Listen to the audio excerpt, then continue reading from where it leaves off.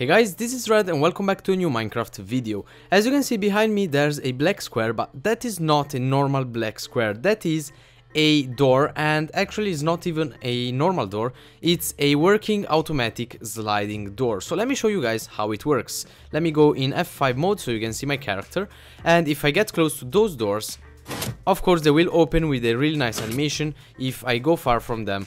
Um, let's say that the sensor detects it and of course the doors will close again. So imagine in how many cases you can use this uh, sliding door. Uh, in the back you can see the sticks that are holding the banners because of course I have used if you're wondering I've used some invisible armor stands that are wearing some banners. Well you can see them here. They are wearing some black banners on their heads and of course they are teleported in different position uh, depending on the position of the player. And um, you can add this command creation to many parts of maps or I don't know you can even add these into your survival world. And uh, as an example you can use these sliding doors as an entrance for a shop or uh, as an entrance for a lift or elevator for you guys watching from the United States. And uh, yeah there are so many places where you can add this command creation. And uh, of course it is powered by command blocks. We have the first line here that is used to create to generate the various armor stands. And the second line of command blocks here is the actual line that makes the whole thing work. Now there's a problem though with this command creation and the problem is caused by how Minecraft radiuses work. And sadly I don't think that there's a way to fix it. And the problem that happens is that if a player goes in the area where the door the doors open and close and if they freak out this mechanism of course everything will be screwed up. And well this is what happens. The doors will be will not be at their place when the player gets far from them.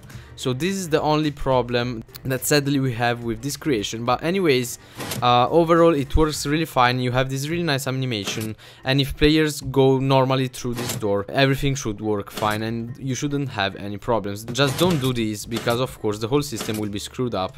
And look at what's happening uh, right, so now let me kill these armor stands and let me generate the whole thing so you guys can see how I did it. Uh-huh, let me use the slash kill command, kill one.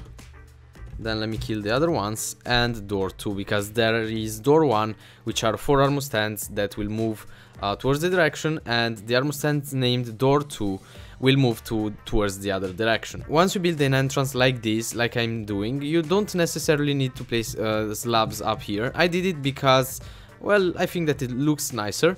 And uh, make sure uh, that you're facing the same direction as I am facing. So now I'm facing south.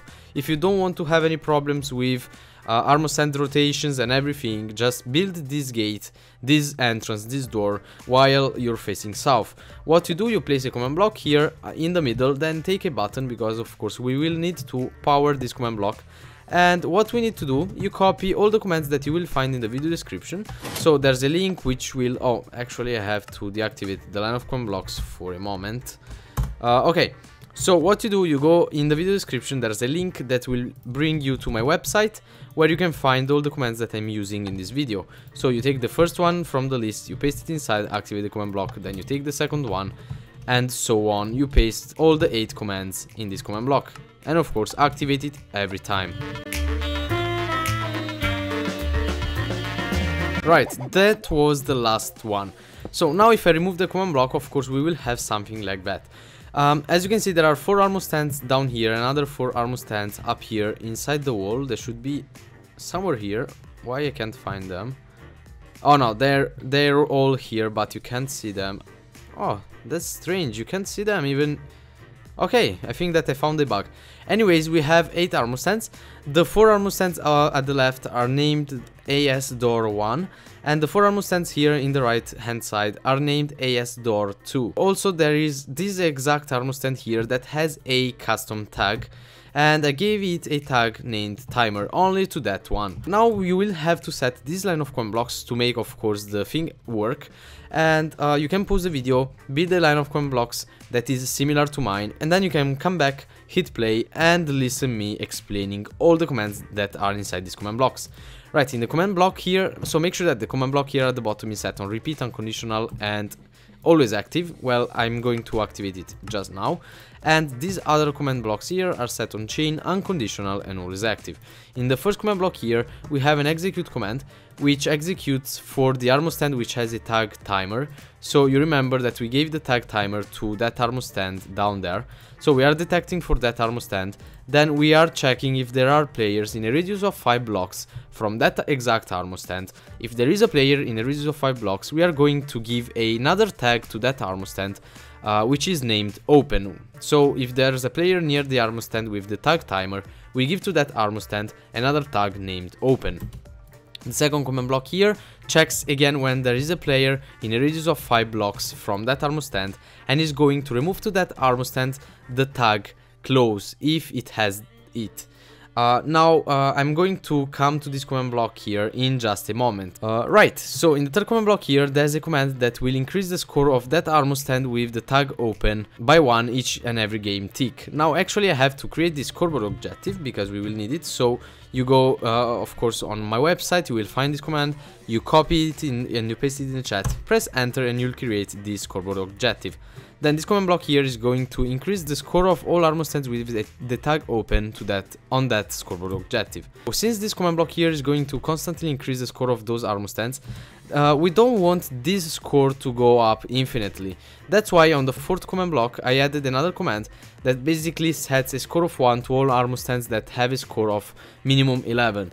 So basically when the score reaches 11 it goes down to 10 again and it doesn't go up infinitely. Then in this command block here we have another execute command which executes again for that armor stand down here and uh, this time we are executing for players that are in a radius between 5 blocks and 6 blocks. Basically this is a command block that detects when a player gets far from the door and if the player gets far from the door we are this time going to add the tag close and that's why we come now back to the second command block when the player gets inside a radius of 5, this tag close gets removed because of course we want the doors to open. Okay, right, so after we add this tag to all the players in a radius between 5 and 6, we have another execute command that checks when there are players in a radius between 5 and 6 blocks from that armor stand, and we are going this time to remove the tag open because of course we want the doors to close. Then uh, this command block here is going to remove to all armor stand with a tag close a score of 1 on the door scoreboard objective. So you remember that scoreboard objective that was constantly increased when the doors open. Now when the doors close, uh, this command block here is going to decrease that number till it reaches a value of 0. Now this command block here, it checks for all armor stands with the tag open, if they have a score between 1 and 9 on the door scoreboard objective, we are going to teleport them uh, 0.14 blocks towards positive X. So, we are going to teleport only armor stands named AS door 1, which are the armor stand on the left hand side. So these armor stands here will be teleported in that direction when they have a tag open and of course the uh, other armor stands named AS door 2 are going to be teleported in the opposite side because we want the doors to open. Then this command block here is going to this time check when a armor stand has the tag closed and when its score is between 1 and 9 we are going this time to do the reverse thing so we are going to teleport the armor stands on the left hand side towards the right and all the armor stands from the right hand side towards left then the last two command blocks here are going to play a sound which is block.piston.contract when the doors open and block.piston.extend when the doors uh, close. And that's pretty much it. So as you can see, the sounds are played. Okay, we have the we have the contract and the extend sound. And that's it. That's pretty much it about this command creation. I hope that you guys enjoyed it. If you did so, don't forget to leave a big fat thumbs up under this video and subscribe to the channel if you enjoy content like this. As always, I want to thank you all guys for watching this video until the end and I'll see you all in my next video. See you, bye!